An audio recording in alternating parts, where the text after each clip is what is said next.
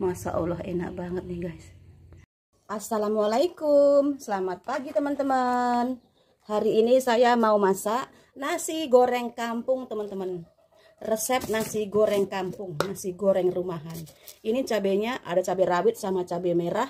Saya mau giling pakai tangan aja teman-teman. Nggak di blender.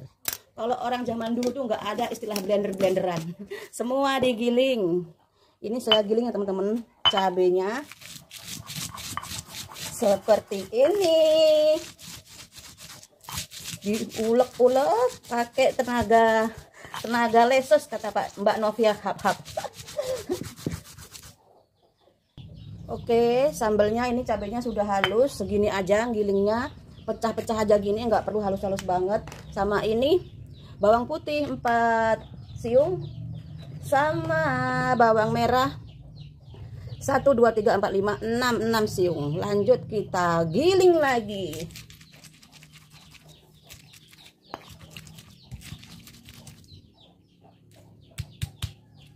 Muncrat.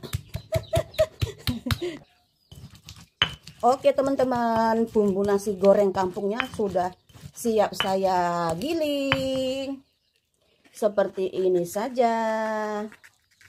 Bumbu nasi goreng kampungnya nasi goreng desa teman-teman. Seperti ini aja bumbunya. Oke lanjut kita masak nasi gorengnya. Panaskan minyak.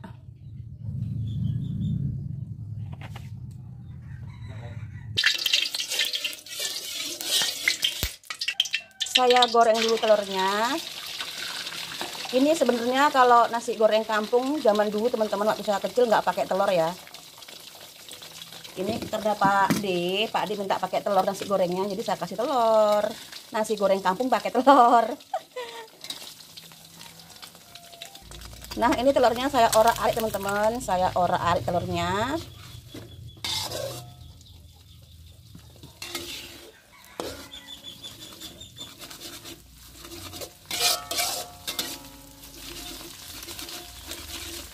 seperti ini diorak-arik telurnya.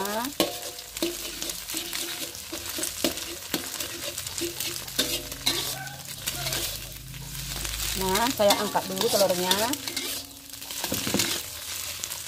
Angkat dulu telurnya.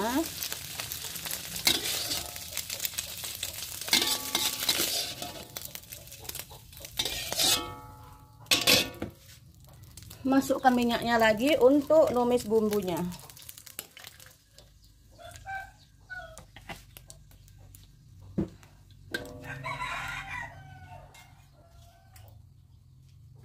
tumis bumbunya.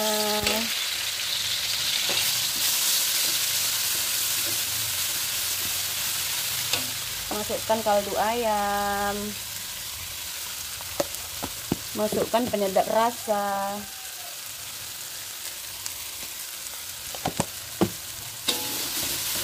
Diaduk-aduk merata merata. Ditumis-tumis sampai tercium harum ya semua orang mungkin ya udah bisa ya bikin nasi goreng kampung nasi goreng sederhana. Bumbunya sudah harum masukkan nasinya. Ini nasi berkat semalam teman-teman. Saya dapat berkat dari orang eh tetangga yang lagi menda menda orang tuanya. Ini saya dapat berkat jadinya saya goreng deh. Diaduk-aduk bumbunya biar merata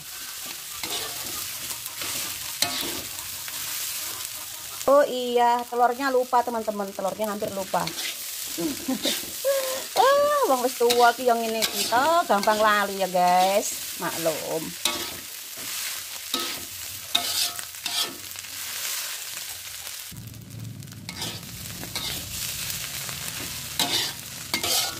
Saya cek rasa dulu teman-teman. Cek rasa. Bismillahirrahmanirrahim. Hmm. Rasanya benar-benar mantap teman-teman. Nasi goreng kampung rasanya nggak kalah dari nasi goreng rumah makan pelajar teman-teman. Hmm. Dulu saya pernah makan di rumah makan pelajar.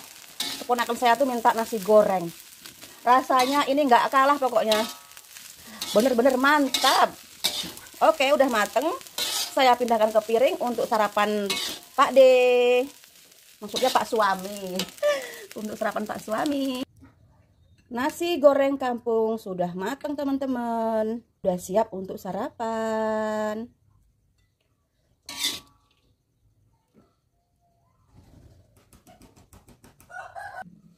Taburi bawang goreng. Biar lebih mantap teman-teman rasanya.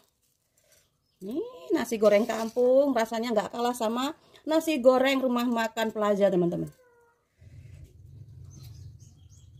Terima kasih yang udah nonton sampai selesai dan terima kasih juga yang nonton nggak selesai. Uh, mohon maaf jika banyak kesalahan. Wassalamualaikum warahmatullahi wabarakatuh. Bye bye. Salam buat keluarga ya guys. Masa Allah enak banget nih guys.